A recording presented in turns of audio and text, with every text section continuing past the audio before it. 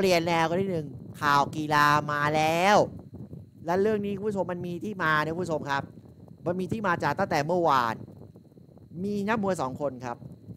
เจเนกพอลกับไม้ไทสัน ซึ่งจะโชควันเนี่ยตอนตอนเช้านะฮะ ตอนเช้าประมาณ8ปดโมงเช้าล่าสุดเนี่ย เมื่อวานนี่หงขอย้าไม่เปิดเผยเปิดภาพ ไม้ไทสันตบหน้าเจ๊กครับ แล้วเกิดวางมวยกัน แล้วเกิดสุดท้ายก็คือยังไม่ได้ทันชกมันเมื่อวานนี้ใช่ไหม คือวันนี้แล้วปรากฏว่าถึงขั้นต้องห้ามกัน ล่าสุดปรากฏแม่ ใครบอกไม้ไทยสันชนะ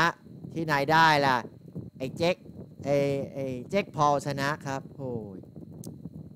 นี่ค่ะเจ๊กพอลครับ ชนะไปแบบเอกฉันครับ เอกฉันทั้ง 3 เสียงเลยทีเดียวนะครับ ภาพนี้มาจากเมนสแตนนะครับ เป็นภาพข่าวเอ่อเว็บข่าวชื่อดังนะครับเออเพจข่าวชื่อดังนะครับ ก็ได้มีการโพสต์ภาพ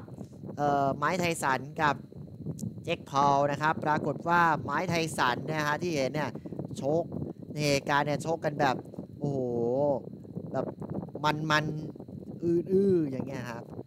ก็ทำให้ปรากฏว่าชกกันเนี่ยคือ 8 ยกน้ำหนักเนี่ยคือแบบ140กว่าปอนด์นะครับ อายุก็เยอะทั้งคู่เจ็คพอลเนี่ยเป็นนักยูทูบเบอร์ส่วนไมค์ ไทสันคือนักมวยชาวอเมริกันอยู่แล้วนะครับ ปรากฏว่าคะแนนเอกฉันท์ครับ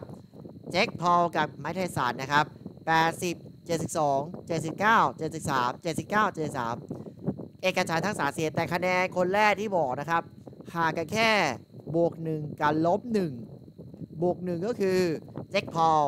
ลบหนึ่งคือไมค์ ไทสันคือไม่เอกฉันท์แต่เสียงต่างกัน คือเหมือนกัน2เสียงคือ 79 กับ 73 แต่เสียงหนึ่งคือ 80 กับ 72 คือยกหนึ่งมี 10 คะแนนอยู่แล้วนะครับผู้ชมนะฮะแต่ก็ทำให้จบแบบ โอ้โห สุดสุดดราม่า เจ็คพอลชนะแบบขาสายตา อย่างเงี้ยเขาเรียกขาสายตา ประเภทนี้แหละ